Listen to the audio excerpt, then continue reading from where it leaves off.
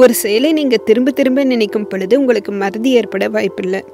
திரும்ப திரும்ப நினைக்க சூழ்நிலை அமையாமல் பல வேலைகள் பல எண்ணங்கள் என உங்கள் வாழ்க்கை என்றும் பரபரப்புடன் இருந்தால் இந்த சூழலில் சில மறதிகள் தவிர்க்க முடியாததாகிவிடும். இதனால சில மோசமான விளைவுகளும் ஏற்படலாம். ஆக மறதியை தவிர்க்க சில வாழ்வியல் மாற்றங்களை ஏற்படுத்துங்க. இந்த வழிமுறைகளை இப்போ பார்க்கலாம். தியானம் மூளை விளையாட்டுகள் போன்ற மூளை பயிற்சிகளை தினம் செய்து நல்ல உணவு பழக்கத்துடன் தின நடைப்பயணம் போன்ற உடற்பயிற்சிகள் செய்து எப்பொழுதும் மனதை நேர்மறையாக சுறுசுறுப்புடன் வைத்திருக்கும் பொழுது மறதி ஏற்படாது. சரியான உறக்கும் ஓய்வும் மறதியை தவிர்க்க பயன்படும். உங்கள் செல்போனின் ரிமைண்டர் டைமர் அலார்ம் கேலண்டர் இவை போன்ற தொழில்நுட்பத்து வேலைகளை ஞாபகப்படுத்த பயன்படுத்துங்க.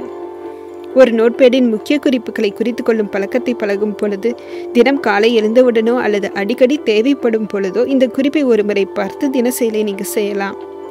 ஒட்டும் குறிப்புகளை பயன்படுத்தலாம். பிறர் ஞாபகப்படுத்த சொல்லலாம்.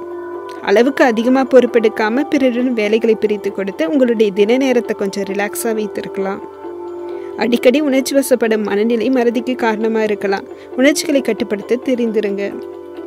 அடிக்கடி ஏற்படும் கவன சிதறலும் மறதியை ஏற்படுத்தும். கவனக்குறுமையை அதிகப்படுத்துங்க. இந்த வழிமுறைகளை பின்பற்றும் பொழுது மறதியை தவிர்க்கலாம்.